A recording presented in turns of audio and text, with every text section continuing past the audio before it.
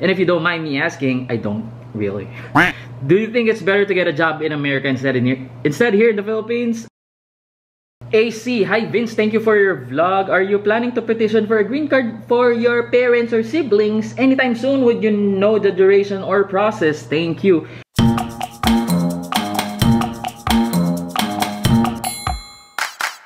Hey guys, what's up? Kamusta naman kayo? Ayan, grabe. Kaka-out ko lang sa work. 11 hours ako nagtrabaho. Parang so far, ito yung pinaka matindi. Pero yung mga nurses dyan na nanonood, huwag kayong ano, kasi alam ko kayo, meron sa inyo nagsi 16 hours, so 12 hours eh. Sa aming mga nasa, ano, corporate, hindi normal yun. 8 hours lang kami, or 8 to 10 hours. 10, pag ako lumampas ako ng 8 hours, medyo, ano na ako na eh. Siyempre, hindi na work-life balance yun, di ba? Anyway, So today ako ay magmomow kasi ang plano ko is magsisid ulit ako. So in short yun nga, magtatanim ulit tayo ng bagong grass. Kasi sabi, nag-google ko, ang best time to plant daw ng grass is fall. Eh, mag-fall na. Actually, medyo malamig na nga eh. Kanina maaraw, bilang late ako nakalabas, madilim na guys. Paggabi na. So, ang plan is imomow siya ng lowest setting. Tingnan nyo patay na patay no. Ng lowest setting. Tapos, para makita yung soil niya. And then after that, so today imomo ko lang. Tapos after that, i-aerate. Meaning, bubutasan natin. Meron akong biniling para siyang sapatos na may steel, na may mga pako. Tapos aanuhin natin, bubutasan para kapag naglagay na ako ng grass seeds, 2 days from now or tomorrow, yung contact ng seed is nasa soil, gets? Para hindi siya nakalutang sa mga current na na tawag dito, na grass. Ang weirdo, tignan nyo, itong part na to patay. Kasi grabe tindi ng sikat ng araw. Pero itong part na to dito namin, buhay na buhay kasi nga, ano sa may shade. Gawin na natin mabilis kasi ang dilim na. Kailangan magawa ko to agad. So ayan, ito na yung lawnmower. Ilalagay natin sa pinaka lowest na setting. Okay. Tapos tara, simulan na agad natin kasi madilim na.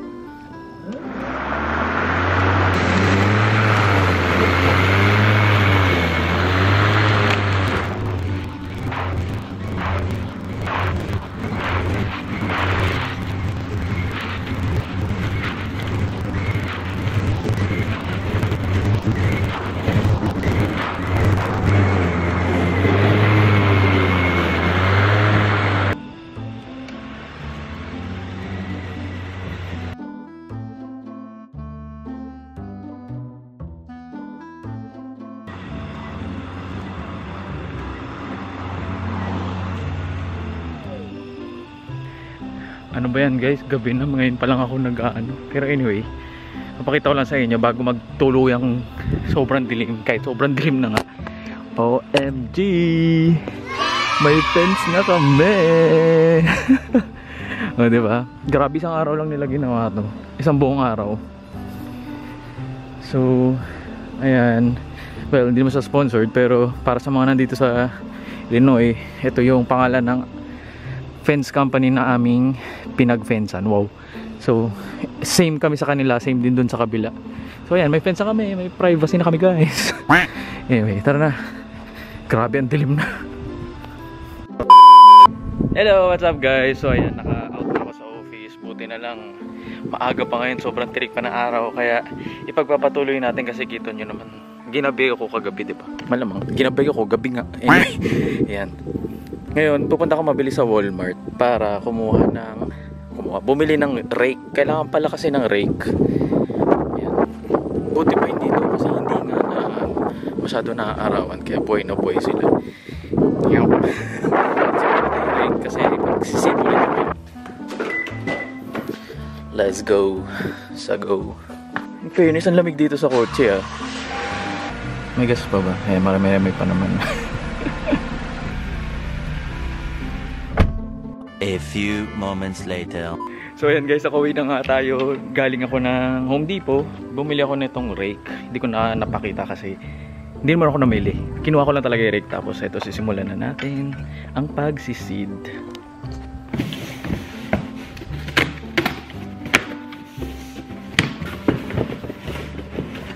Ah, yan ito nga. so ito siya guys. Ay wait, paano ba to? So ito siya. para isusot mo siya as sapatos tapos bubutasin niya yung soil para yun nga mas madaling ma-absorb yung water every time mag-sprinkler tayo or yun nga magdidilig. Pero ang laki. Wait lang. Ang laki niya. So kailangan siguro, by the way, I got this from Amazon kung sa mga taga rito, madali na ma-order sa Amazon, di ba? Asan na ba yung mukha ko? Wait lang. And then, bilang malaki siya, feeling ko dapat yung yung boots yung suot eh, yung work boots. Ayan. Okay, and by the way, boots to? Hindi siya sponsored, pero bilang marami nagtatanong ano ang ating mga pinaggagamit dito. So, itong waterproof na boots, pang winter, pang eklabo, ganyan. Ito, got this from Colombia. Subok na pang matindihang ano, kung ano-ano. Ang ginit, ang araw, wait nga.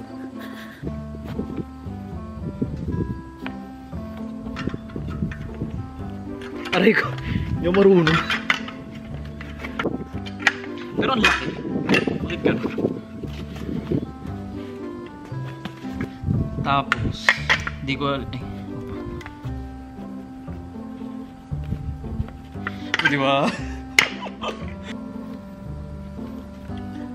Tapos ayun, lalakad-lakad lang tayo dito sa sa grass para mabutas, mabutas. Ayun, para maano ma ano yung soil, ganon. Hala, lumulubog talaga siya. Wait. oh, amazing. Wait. Ayun, pa- para makita nyo, gaganyan, gaganyan natin.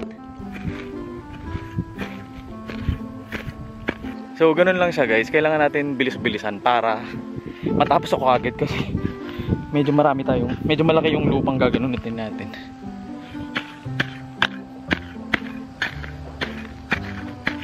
Exercise na din siya.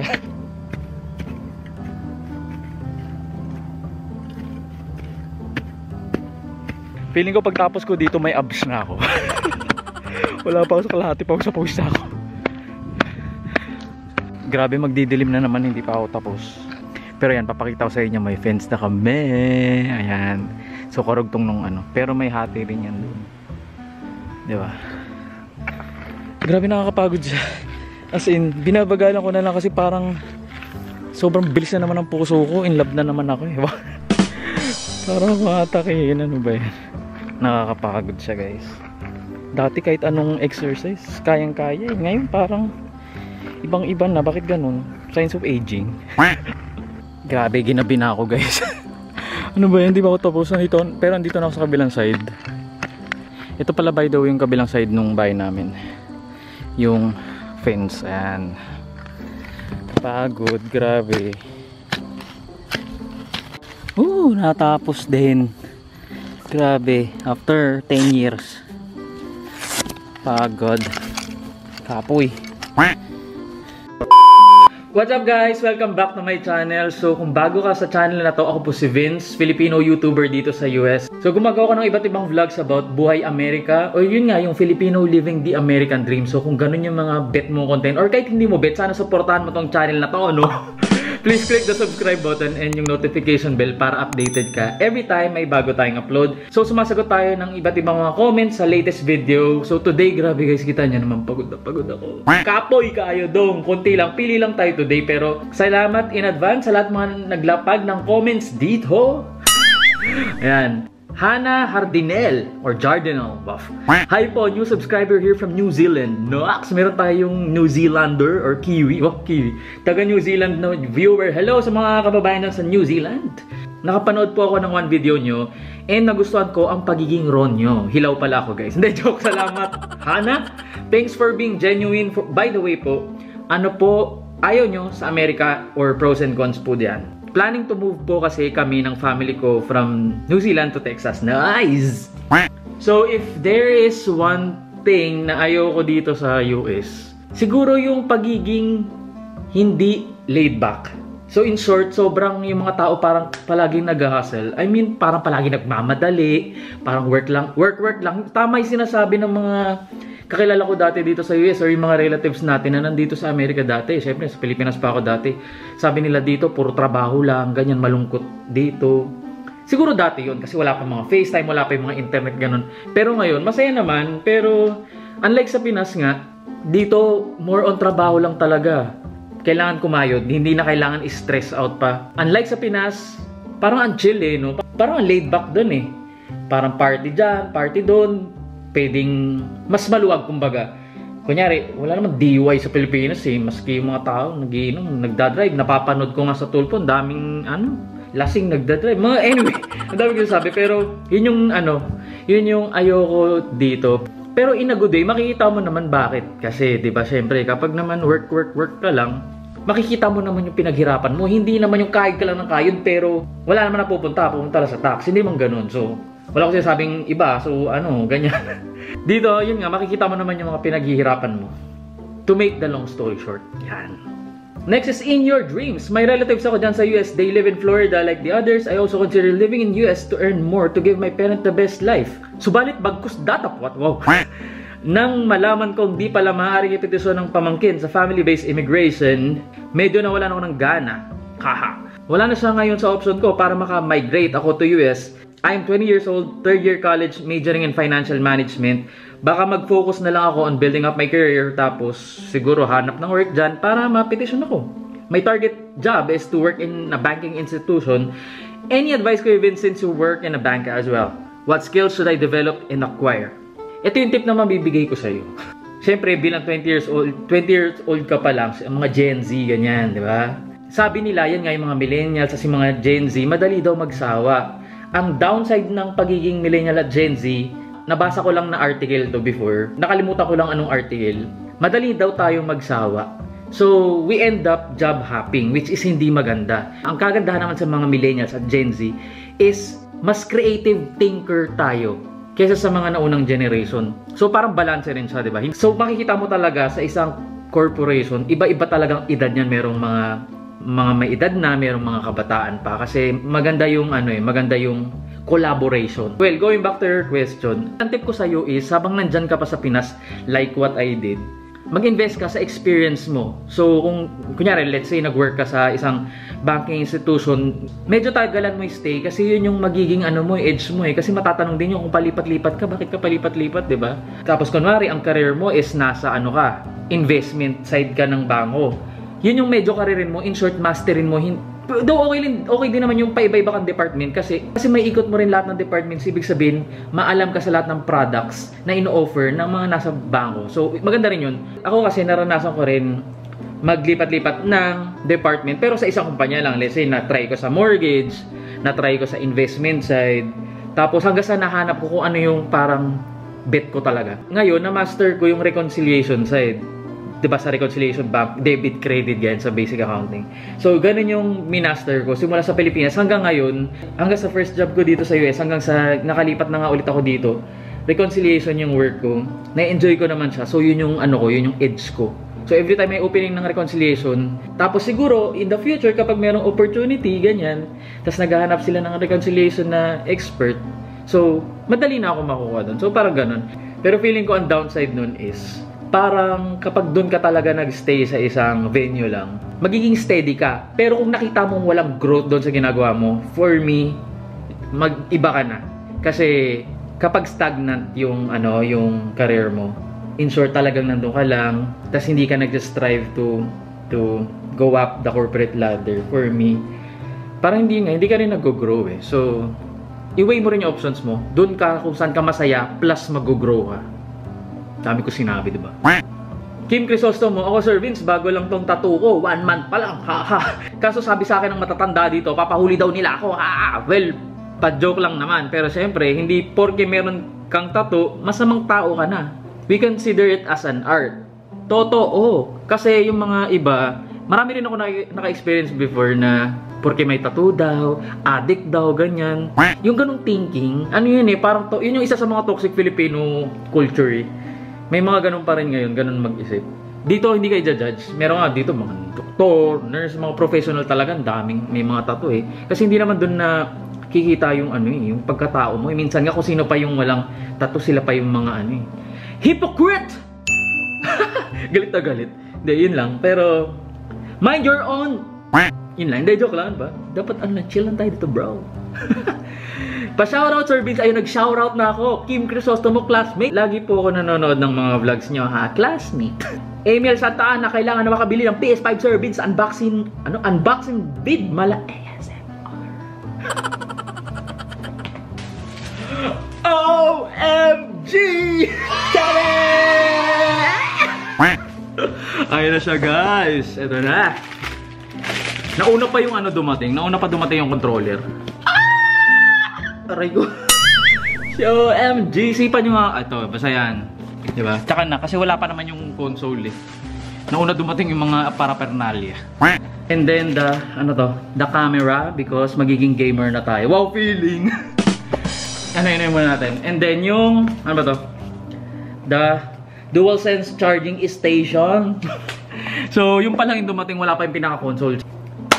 Gagawa ako ng channel guys, Facebook gaming channel at ng YouTube siguro. Basta yung live stream yun, doon tayo ano, rarakit, ganyan para may pambayad tayo ng ano, ng kotse at ng bahay.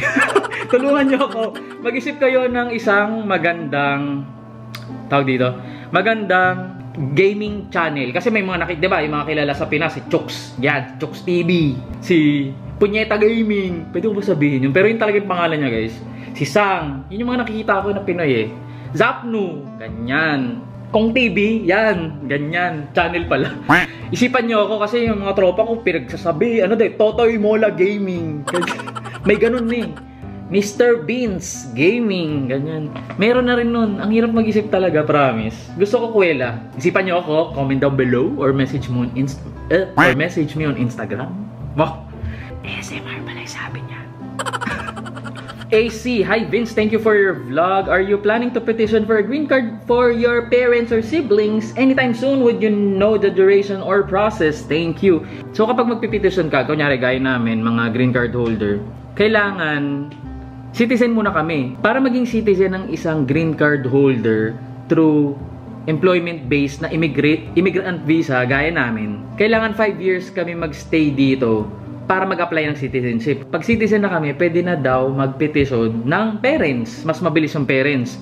Pag siblings, parang 20 years yata yung rinig ko at yung research ko eh. Correct me if I'm wrong. So, yun, yes. Kapag citizen na po kami, which is 2 and a half years from now, mag-apply na kami ng petition. I mean, ng citizenship muna pala, tapos petition sa parents. Tapos siblings.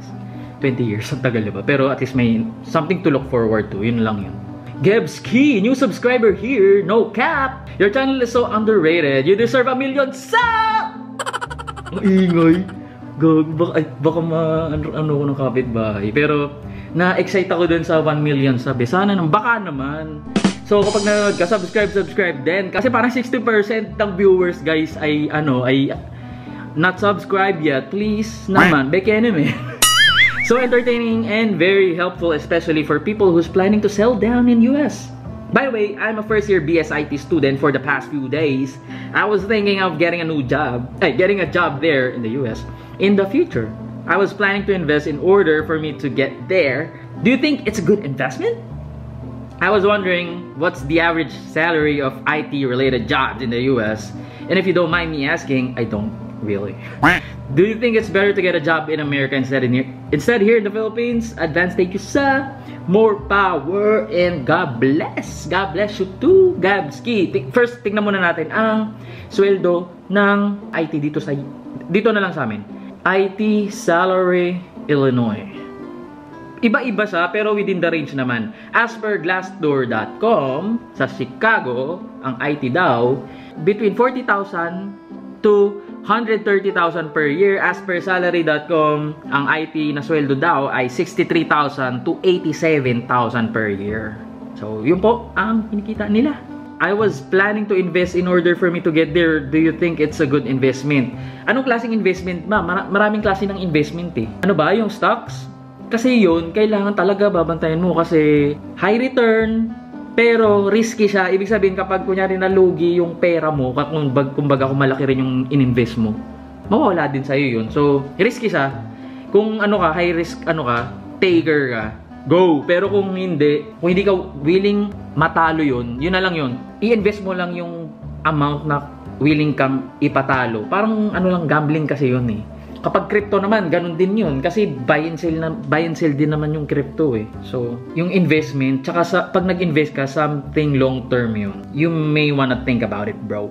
Pero don't get me wrong ha, maganda talaga mag-invest. Pero kung sinasabi mo kasi na mag-invest ka tapos dito ka mag-work, well, pwede rin naman. Pero yun nga yung tip ko, i-invest mo lang yung amount na willing kang malose yun. Tama. At tapos, yung last question mo is, do you think it's better to get a job in America instead here in the Philippines? For me, no-brainer siya. Oo, kasi syempre, kapag masipag ka talaga dito, hindi naman sa pag-ano ha, kapag masipag ka talaga dito, talaga ma- makikita mo yung pinaghir- pinaghihirapan mo. Alam mo yun? Dito, maski yung mga labor na jobs, yung mga blue collar, minsan mas maganda pa yung bahay sa'yo, mas maganda pa yung kotse sa'yo. In short, afford din talaga kaya wala rin discrimination kapag ano yung work mo dito. So yun muna today guys. Maraming salamat sa panonood at sa mga naglapag ng comments. Thank you so much. At sa mga hindi ko nasagot na comments, sorry pero don't worry, nabasa ko yung lahat ng mga yun pero thank you pa din. At guys, if na-entertain ka kahit konti lang dito sa video na to, sana masuportahan mo, please subscribe to this channel at paki-like na rin tong video na to. At sana ma-share mo na rin tong video na to para maging 1 million subscriber. Wow, feeling! Pero malay mo, 'di ba? So, Ayun, I owe it to you guys kung mangyari man yun, syempre. And don't forget to follow me on my social media accounts and I will see you on my next video. Bye-bye.